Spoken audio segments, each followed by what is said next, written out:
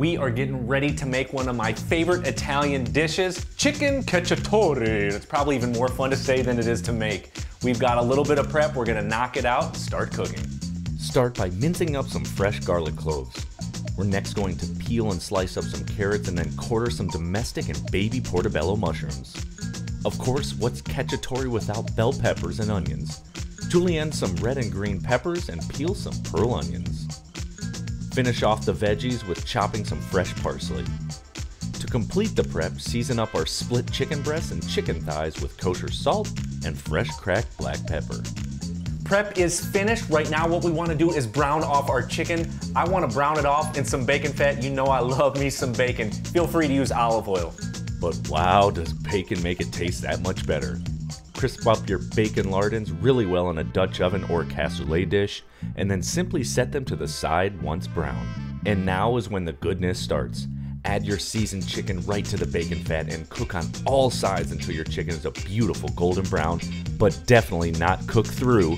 Then take them out and set them aside. The chicken is a perfect golden brown. Now we wanna caramelize all those vegetables that we cut up into that fat from the chicken and bacon.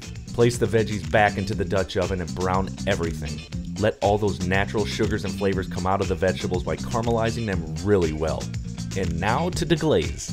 Because my family is from southern Italy, I'm going to use red wine, but of course, feel free to use white wine. We want to cook the wine down for a few minutes on high heat and then add in our whole peeled tomatoes and juice and also cook down for a few minutes.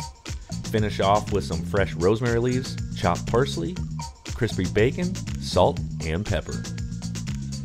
Now it's time to put everything back in the pot. Place in our chicken and slightly submerge. Pop a top on the pot and braise in the oven on 375 degrees for one hour. There's about five minutes left in the cooking process for our chicken cacciatore in the oven. I just popped in a large pot of boiling salted water, our fresh Angel Hair Ohio City pasta. We're gonna let it finish up cooking. We're gonna plate it up. We are gonna test it out. Since the pasta is fresh, it will cook pretty quickly. And now my favorite part, plating up our masterpiece. Lay down the noodles and top off with caramelized braised chicken and spoon on some vegetables from the pot, as well as some of that delicious cooking liquid. Finish off with parsley. Perfection. Time to mangia.